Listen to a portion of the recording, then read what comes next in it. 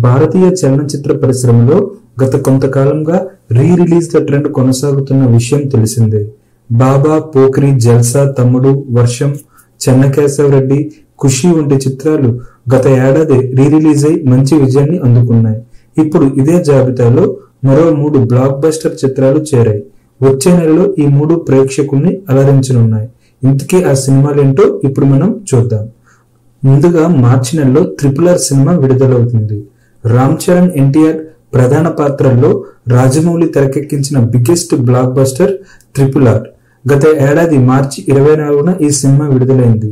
ఈ సినిమా విడుదలై ఏడాది కానున్న సందర్భంగా అభిమానుల కోరిక మేరకు ఈ చిత్రాన్ని మరోసారి ప్రేక్షకుల ముందుకు తీసుకురానున్నారు. అయితే ఈ సినిమా రీ రిలీజ్ అయ్యేది కేవలం అమెరికాలో మాత్రమే. మార్చి మూడవ తేదీ నుంచి మార్చి ఇరవై ఐదు వరకు సుమారు రెండు వందల థియేటర్లలో అభిమానుల కోసం దీన్ని ప్రదర్శించనున్నారు. ఇక మార్చి నెలలో రాబోతున్న మరో బ్లాక్ బస్టర్ చిత్రం మెగాస్టార్ చిరంజీవి నటించిన గ్యాంగ్ లీడర్ విజయ్ బాపినీడు ఈ సినిమాకు దర్శకుడు.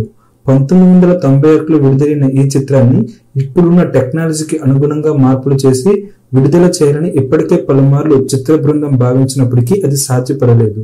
ఈ క్రమంలోనే మార్చి నాలుగున ఈ చిత్రాన్ని తిరిగి ప్రేక్షకుల ముందుకు తీసుకువచ్చేందుకు తాజాగా చిత్ర బృందం రంగం సిద్ధం చేసింది.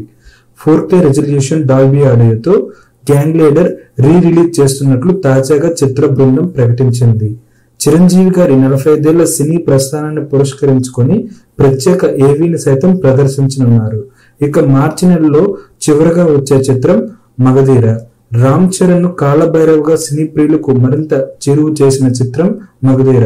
ఈ సినిమాకి ఎస్ఎస్ రాజమౌళి దర్శకుడు కాజల్ కథానాయిక.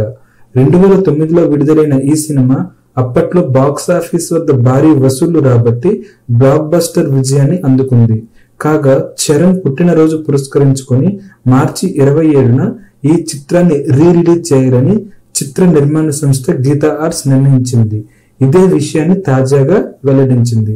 ఇక మార్చి నెలలో విడుదలవుతున్న ఈ బ్లాక్ బస్టర్ చిత్రాలు అభిమానుల్ని ఎంతగానో అలరింప చేయాలని మనం కోరుకుందాం.